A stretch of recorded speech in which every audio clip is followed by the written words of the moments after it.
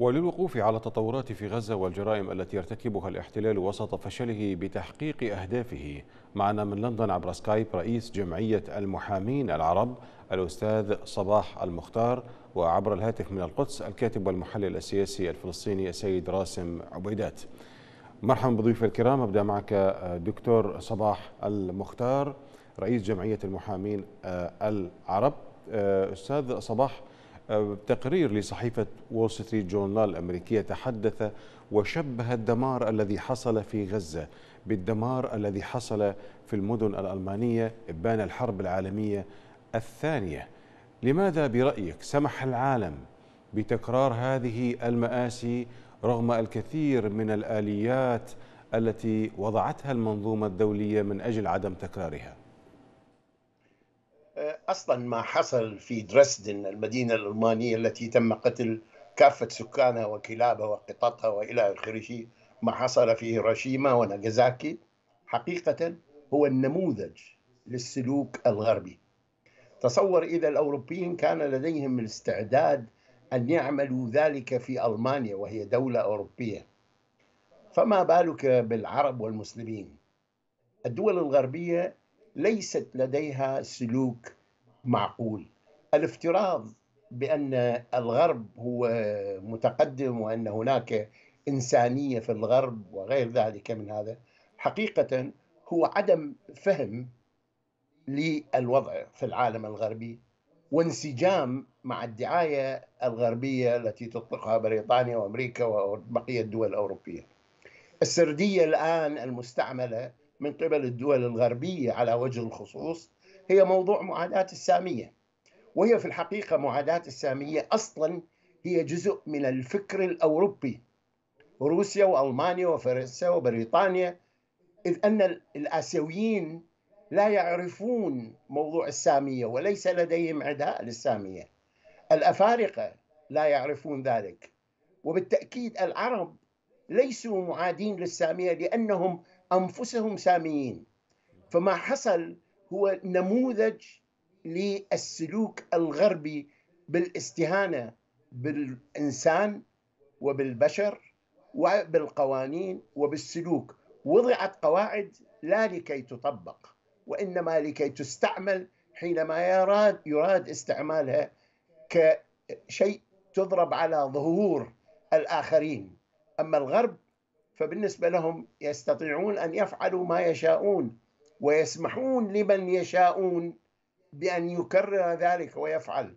فبالنسبة إلى ما تقوم به الدولة الصهيونية تجاه غزة والضفة الغربية ومحاولة إخراج الفلسطينيين بالكامل من فلسطين هو جزء من هذه السياسة الغربية التي تدعي بالإنسانية وتدعي بحقوق الإنسان وتدعي بسيادة القانون ولكنها لا تمارسه ومن تؤيده تسمح لهم بالانتهاكات ومن تشق فيهم ورأينا ما حصل مع روسيا. روسيا حينما دخلت في صراع مع أوكرانيا في خلال ثلاثة أشهر تم توجيه الاتهامات إلى روسيا وبوتين وأنه انتهاكات. فبالنسبة إلى الغرب الغرب يستعمل هذه المعايير. ما حصل في العدوان على ألمانيا هو يتكرر في غزة وسيتكرر في أماكن أخرى وتكرر فعلا في العراق وفي أفغانستان وفي ليبيا وفي سوريا وفي بقية الدول في العالم التي تعارض السياسة الغربية. نعم أستاذ صباح أبقى معي لو سمحت. أستاذ صباح المختار سوف أعود إليك مرة أخرى. أنتقل بالسؤال إلى الأستاذ راسم. أستاذ راسم عبيدات مرحبا بك مرة أخرى. يعني قوات الاحتلال تنسحب من مخيم البريج وسط قطاع غزة. ماذا تعكس المشاهد القادمة من هناك وسط تمسك أهلها بخيار البقاء؟ سيدي بعد 85 يوما من العدوان المتواصل على شعبنا وأهلنا في قطاع غزة وما آه، يوقع بالمزيد من الخسائر في صفوف المدنيين والمؤسسات المدنية وخاصة في الجانب القطاع الصحي المشافي والمراكز الطبية التي جزء كبير منها خرج عن الخدمة بسبب هذا القصف الهمجي المتواصل بالإضافة إلى استهداف دور العبادة من مساجد وأيضا كنائس ومدارس ومدارس وجامعات ومراكز إيواء مقرات للوكالة.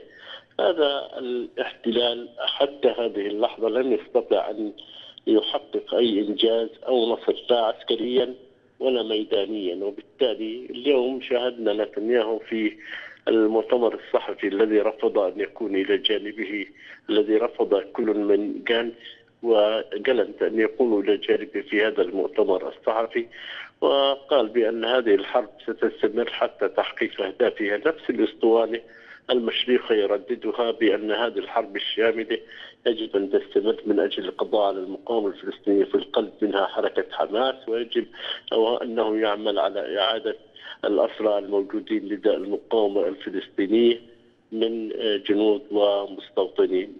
أنا أقول بشكل واضح أن هذا هذه الحرب المتواصلة أصبحت بدون أهداف محددة وبدون آفاق. وبالتالي هذا هذه التصريحات هي فقط نتنياهو يريد أن يبحث عن نصر يريد أن يحمله للداخل الإسرائيلي لأن نتنياهو يدرك تماما انها هو يقود هذه باتت المعارضة تدرك أنه يقود هذه البح...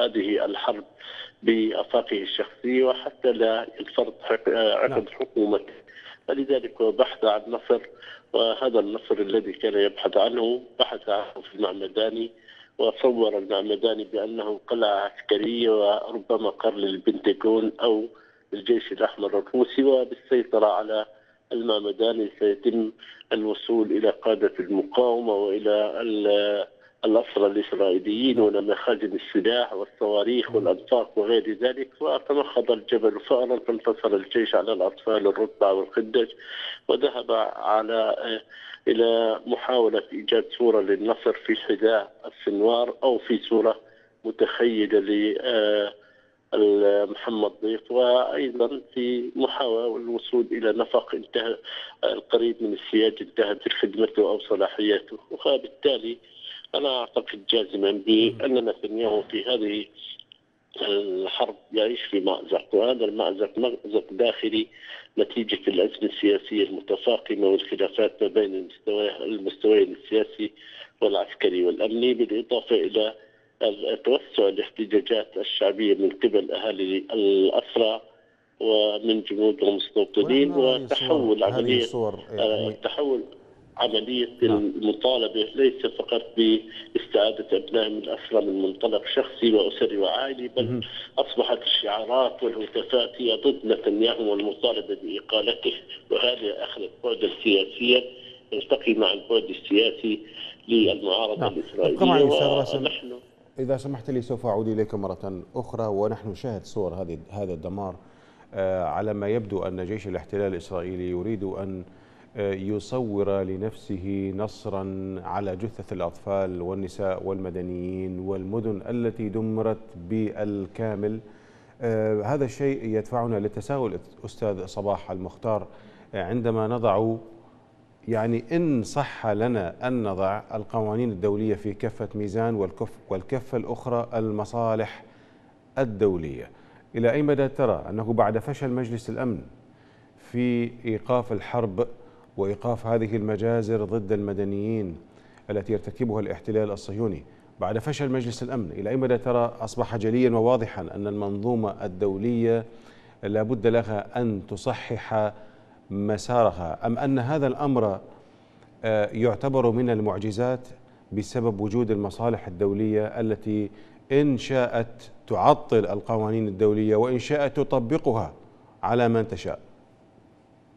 مع شديد الأسف المنظومة الدولية أصلا ليست لها قيمة حقيقية إلا عندما يريد الكبار وبذا فهي فاشلة أصلا لأنها منحازة والنظام الذي يكون منحازا لا يصلح أن يكون أساسا للمنظومة.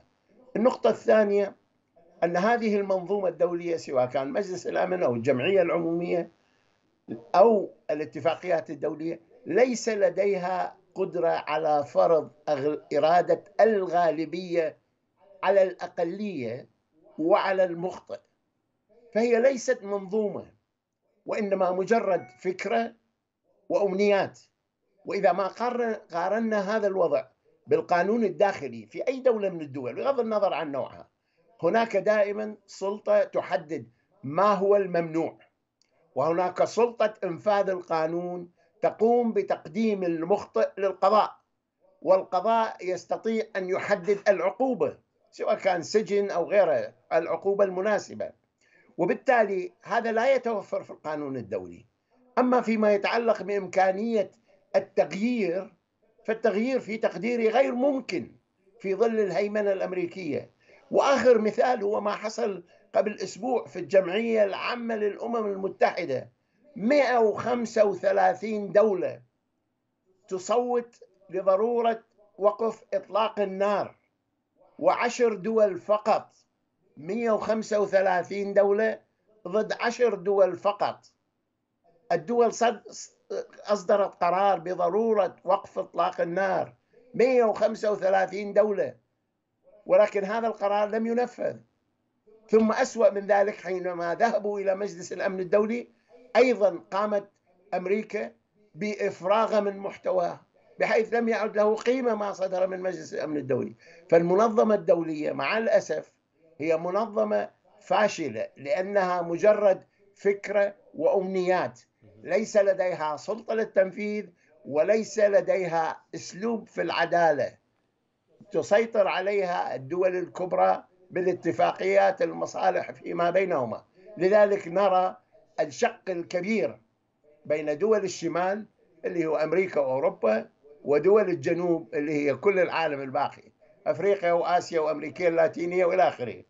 هذا هو الوضع مال المنظومة الدولية التي نتحدث عليها، مع شديد الأسف أنا شخصيا بالرغم من أنه أنا محامي ويجب أن نعترف بالقانون الدولي وإلى آخره، لكن حقيقه ممارسه وحتى من الناحية النظرية كما ذكرت أنا لا أعتقد أنه هو منظومة يصلح أن يكون منظومة للأسباب اللي ذكرتها. نعم دكتور صباح سوف أعود إليكم مرة أخرى. أبقى معي لو سمحت. أستاذ راسم بالعودة إليكم هل سيستمر أهالي الأسرى الصهاينة بمنح فرص أخرى لحكومة نتنياهو؟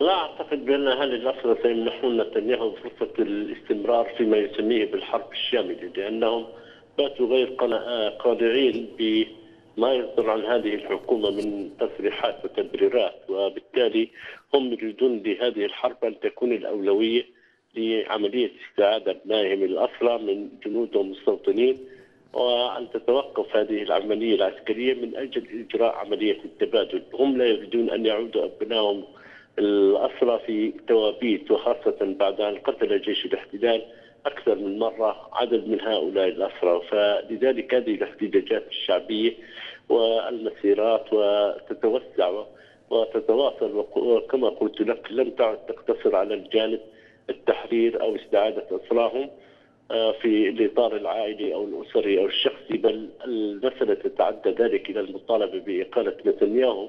وهذا الشعار سياسي يلتقي مع الشعار الذي تطرحه المعارضة الإسرائيلية وخاصة عندما يطرح وزير أمن سابق مثل فيكتور آه، آه، ليبرمان بالإضافة إلى لبيد رئيس وزراء سابق ضرورة إجراء انتخابات سياسية خلال الحرب. وإجراء انتخابات سياسية في خلال الحرب يعني أنهم يسعون بالإطاحة بنتنياهو. هذه أول مرة إذا ما آه، جرى تطبيقها أو الأخذ بها ستكون في دولة الاحتلال. ولذلك نحن نشاهد أن الانتقادات لنتنياهو والدعوة إلى قالته ورحيله هي لم لا, لا تقتصر على أهل الأسرى أو المؤسستين الأمنية والعسكرية. أيضا رؤساء وزراء سابقين مثل يهود أولمرت ويهود باراك ولبيد و غيرهم يدعون إلى إقالة نتنياهو ويعتبرون أن هذا الرجل غير مؤهل على الاستمرار في هذه القيادة. ووجهوا دعوات لازميكوت وجانس للانسحاب من مجلس الحرب والعمل على استمالة بعض أعضاء الليكود وحزب جاس من أجل تشكيل آه، تكتل واسع يعمل على إسقاط هذه الحكومة والذهاب إلى انتخابات مبكرة سادسة. واذا ما وفقوا في هذه القضية فأعتقد بأن نتنياهو سيصل إلى محطته الأخيرة وسواء جرت الانتخابات أو لم تجري أعتقد بأن نتنياهو وجان ونتنياهو وجالنت وسموتريتش وبن غفير سيختفون من المشهد السياسي لأن نتنياهو إذا ما توقفت الحرب في اليوم الأول ستكون هناك لجنة فينوغراد اثنين على غرار لجنة فينوغراد واحد التي تشكلت بعد لكن أيضا يبقى يبقى تساؤل مهم. آه، ابقى معي أستاذ راسم سوف أعود إليك مرة أخرى. أستاذ راسم عبيدات دكتور صباح. آه، انطلاقا من ما تحدث به الأستاذ راسم عبيدات يعني من الذي يمكن له ومن الذي يمتلك الجرأة ومن الذي يمتلك القوة أن يحاسب الكيان الصهيوني؟ الكثير من المنظمات والدول آه، تريد أو رفعت دعوى قضائية للمحكمه الجنائيه الدولية لمحاسبة إسرائيل على ما ارتكبته من جرائم. ولكن عندما ننطلق من الفكرة والمنظومة الفاشلة التي تفضلتم وتحدثتم عنها قبل قليل آه، بالتالي ينسحب عليها موضوع المحكمة الجنائية الدولية التي هي أصلا تابعة للمنظومة الدولية ومجلس الأمن أليس كذلك؟ آه، فمن الذي يمكن له أن يحاسب إسرائيل؟ صحيح أولا بالنسبة إلى آه، هناك حاجة للحديث آه، قليلا عن موضوع المحكمة الجنائية الدولية ومحكمة العدل الدولية المحكمة الجنائية الدولية هي المحكمة المختصة بالنظر في جرائم الحرب وجرائم إبادة الجنس البشري وهذه تخضع إلى اتفاق ما يسمى باتفاقية روما التي لا آه، إسرائيل وأمريكا ليستا دولتين منضمة إلى هذه. ولكن هناك اتفاقيات جنيف الأربعة التي وضعت بعد الحرب العالمية الثانية التي تحدد كيفية حماية المدنيين أثناء الحرب من ناحية وواجب سلطات الاحتلال تجاه الأراضي المحتلة. إسرائيل تخل بذلك الالتزام بصورة موثقة يوميا بل أكثر من ذلك أن إسرائيل بدأت توزع السلاح على سكان المستعمرات للاعتداء على الفلسطينيين. الغرب شريك في هذا.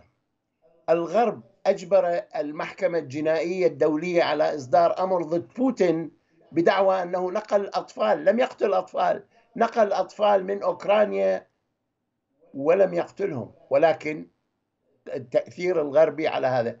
يجب أن لا ننسى أصلا أن الغرب والإنجليز على وجه الخصوص وعد بالفور هو وعد أصدره رئيس الوزراء البريطاني عام 1948 يعني بعبارة أخرى منح من لا يملك لمن لا يستحق.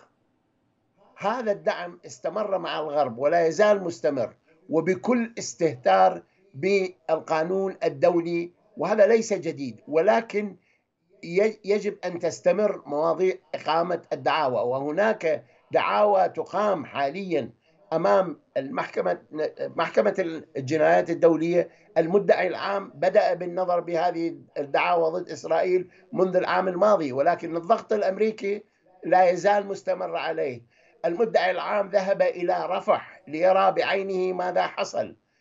لكن بالوقت الحاضر الآن هناك شيء تطور جديد وهو حصل قبل أربعة أو خمسة أيام حينما قاومت دولة جنوب أفريقيا بإقامة دعوى أمام محكمة العدل الدولية. وهذه تختلف عن المحكمة الجنائية الدولية. هذه المحكمة قدمت جنوب أفريقيا طلبا إلى المحكمة. للنظر بالخلاف بين جنوب أفريقيا وإسرائيل لقيام إسرائيل بالإخلال بالاتفاقية الخاصة بالتطهير العرقي والجنسايد. ومحكمة العدل الدولية بعد أسبوعين بتاريخ 11 أو 12 الشهر القادم شهر يناير القادم ستبدأ بالنظر بهذه الدعوة.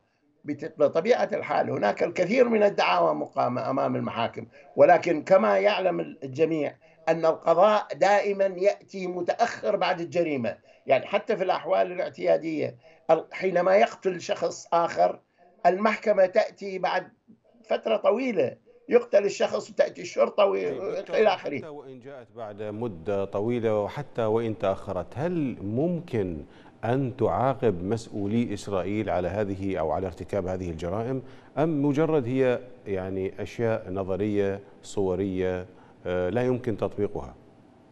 كما ذكرت بالنسبة للقانون الدولي نفس المشكلة تنطبق عليه. بالنسبة إلى القانون الدولي الآن نحن نعيش في عالم الغاب عالم القوة. الذي لديه القوة يستطيع أن يفعل ما يشاء ولكن يجب عدم التخلي عن فكرة أن من لديه حق يجب أن يطالب به. يعني إذا إذا الشخص عنده حق ولم يحصل عليه الآن يجب أن يطالب به قد يحصل عليه مستقبلا قد يحصل عليه أبناءه يجب أن لا تنتهي القضية الفلسطينية بهذه الطريقة. يعني أنا يعني قلبي يدمي من من الألم أنه عشرين ألف شخص راحوا ونصفهم أطفال ونساء لكن ما ما حصل في 7 أكتوبر هي عملية تغيير لكل القضية الفلسطينية. نقلتها من من من زوايا التطبيع وغير التطبيع والأشياء الأخرى إلى الموضوع الحار الآن. ويجب على العالم بغض النظر إذا أراد أو لم يريد كان مع إسرائيل أو لم يريد عليهم أن يجدوا حلا. هناك مليونين إنسان الآن محصورين في جزء صغير جدا في غزة. ماذا سيجري لهؤلاء؟ هل ستقوم إسرائيل بإلقاء قنبلة ذرية عليهم؟ هل ستقوم بتهجيرهم إلى مصر والضفة الغربية؟ هذه لا تحل الإشكال. الاعتداء الظلم سيبقي العداء مستمر. إسرائيل تقول أنها تريد أن تحارب حماس. ما هي حماس؟ حماس هم فلسطينيين مضطهدين رفعوا السلاح وهذا ينطبق على كل فلسطيني. سواء كان بالضفة الغربية أو في في غزة. ليسوا اعضاء. حماس ليست حزبا سياسيا تدخل فيه وتدفع اشتراك. الحركة حركة المقاومة الفلسطينية هي نتيجة للظلم الذي مضى عليه 75 عاما. هذا الظلم يجب أن يتوقف. نعم الآن الثمن كما نرى. أنا لم أشهد في حياتي ظلم بهذه الدرجة. وسكوت من العالم والعرب والمسلمين بهذه الدرجة. ولكن الحقوق يعني تستحصل نعم. ولا تمنح. ودائما ثمن الحصول على الحقوق هو ثمن غالي. فأنا أظن أنه إقامة الدعاوى هي إحدى الوسائل ولكن المقاومة يجب أن تستمر. من لندن عبر سكايب رئيس جمعية المحامين العرب الدكتور صباح المختار شكرا جزيلا لكم. ونشكر أيضا الأستاذ راسم عبيدات الكاتب والمحلل الفلسطيني كان معنا عبر الهاتف من القدس.